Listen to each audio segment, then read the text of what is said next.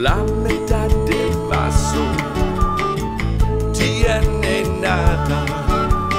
Cuando es cortado de arriba hacia abajo, él serve su función solamente. Cuando las mitades se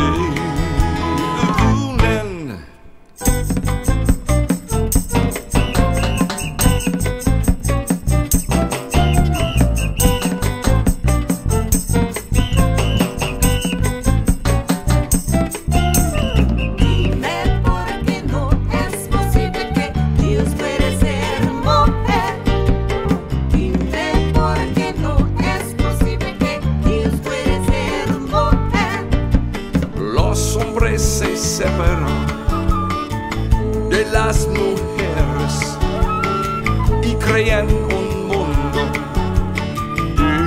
de contienda. El hombre se une